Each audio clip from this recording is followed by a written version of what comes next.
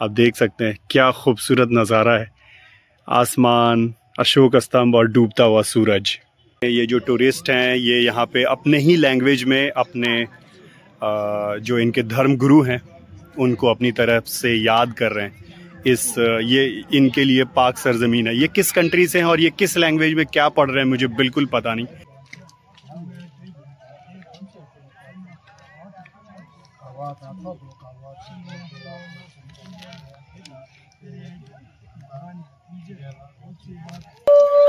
ये सही तरीका है।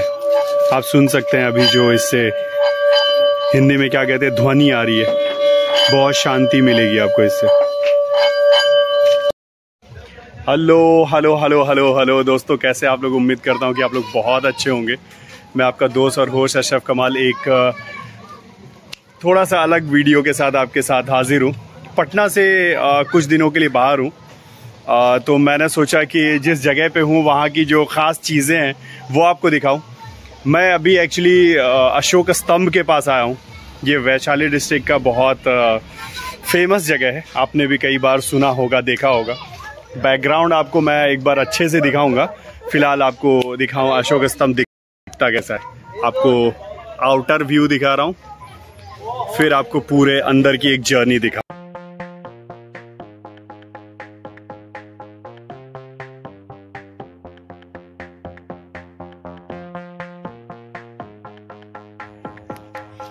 दोस्तों, ये रहा वो अशोक स्तंभ, जिसके लिए ये वैशाली का जो ये खंडहर नुमा जो प्लेस है, जो एक्चुअली में एक ज़माने में काफ़ी मायने रखता था। वो जब अब खंडहर हो गया है, पर इससे जुड़ी हुई बातें, इससे जुड़ी हुई यादें, वो लोगों के जहन में या इतिहास में दर्ज है।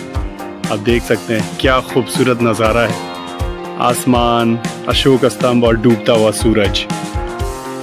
तो दोस्तों ये एक्चुअली स्तूप है। आ, ये मैंने आपको ब्रीफ किया है। ये स्तूप है और ये अशोक स्तंभ है। आ, मैं इसके बारे में और भी ब्रीफ आपको देता रहूँगा। फ़िलहाल खंडहर बन चुकी इन आ, जो ज़मीन है इसके बारे में बहुत पुरानी हिस्ट्री है। इस हिस्ट्री के बारे में मैं और भी और चीज़ें बताऊँगा।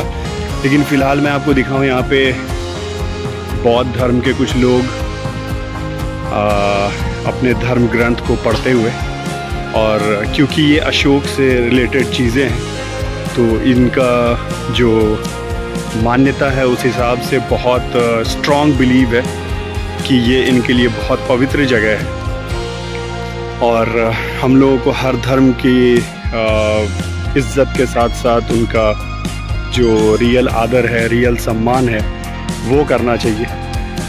तो ये अपने धर्म की कोई ग्रंथ यहाँ पे पढ़ रहे हैं। इनको डिस्टर्ब ना करते हुए मैं अपने वॉल्यूम को भी थोड़ा कम करता हूँ और आपको शूट करके बताने की कोशिश करता हूँ। ये अपने लैंग्वेज में कुछ पढ़ रहे हैं।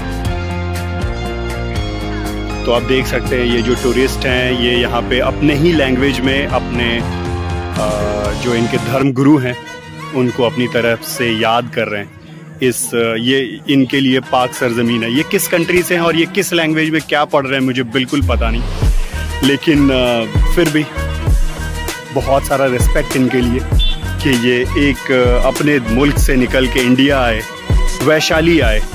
हमारे बिहार की जो हिस्ट्री है, वो बहुत ज़्यादा स्ट्रॉन्ग है और बहुत ज़्यादा दूर दूर तक प्रचलित है ये सारी चीज़ें।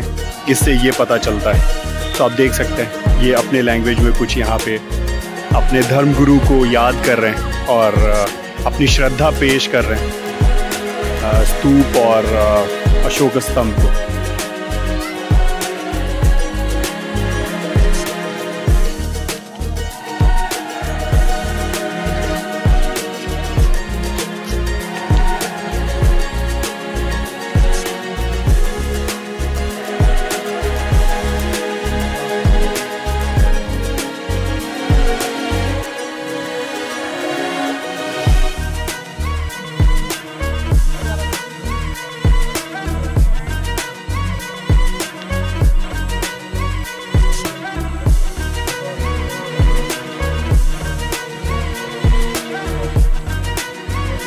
दोस्तों, इस व्लॉग के ज़रिए मैं आपको इस जगह की पवित्रता के बारे में बताऊँ कि लगभग 2500 साल पहले सम्राट अशोक ने इस जगह को बनवाया था।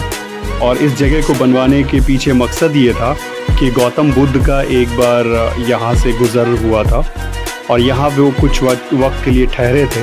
और ये जो झील आप देख रहे हैं उनको प्यास लगी थी गौतम बुद्ध जी को। और प्यास जब लगी तो उन्होंने एक तालाब सा बनवाया। यहाँ से उन्होंने पानी पिया और कहते हैं कि वानर सेना ने इस तालाब को बनवाया था। उस वक्त जिसको अब मॉडिफाई करके प्रॉपर स्टेयर केस वगैरह बना दिया गया ताकि लोग यहाँ पे आके देख सके उसको प्रॉपर और जैसा कि आप दोस्तों देख सकते हैं, हर थोड़ी दूर पे आपको ऐसा माइलस्टोन मिलेगा जहाँ पे सारी चीज़ें अच्छे से ब्रीफ की हुई हैं। कि आप बिल्कुल से अगर अचानक से यहाँ पहुँचें तो ये ब्रीफिंग देख के आप चीज़ों को समझ सकें कि ये किस मकसद के लिए कब बनाया गया। तो आप इस जगह को बिल्कुल विज़िट करिएगा। सफ़ाई में बिल्कुल कहीं कोई कमी नहीं आप देख सकते हैं। सफ़ाई की बात करें तो दोस्तों आ, बुरा ना माने तो मैं एक बात कहूँ कि ये मुझे बिहार का कोई ऐसा टूरिस्ट पैलेस अभी मतलब लग ही नहीं रहा। इतनी सफ़ाई आप देख सकते हैं, चारों तरफ़ बिल्कुल आपको क्लीन दिखेगा। मतलब इतनी सफ़ाई मैंने बिहार के किसी भी टूरिस्ट प्लेस पे बहुत कम ही देखी है। आप देख सकते हैं सफ़ाई।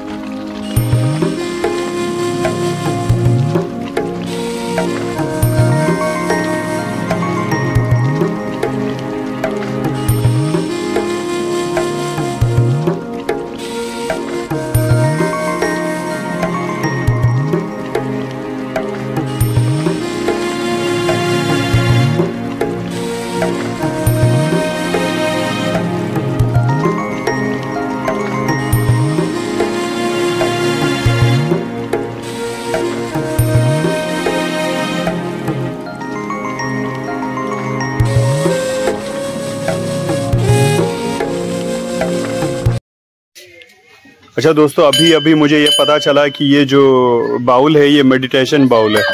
मतलब लोग इसको परचेज करते हैं यहाँ पे मेडिटेट करने के लिए। देखिए ये भाई साहब थोड़ा सा ब्रीफ करेंगे। ओ भाई साहब, बिल्कुल अलग वाइब आ रही है। मैं कुछ गलत कर रहा था इसको। ये सही तरीका है। आप सुन सकते हैं अभी जो इससे हिंदी में क्या कहते हैं, ध्वनि आ रही है। बहुत शांति मिलेगी आपको इससे।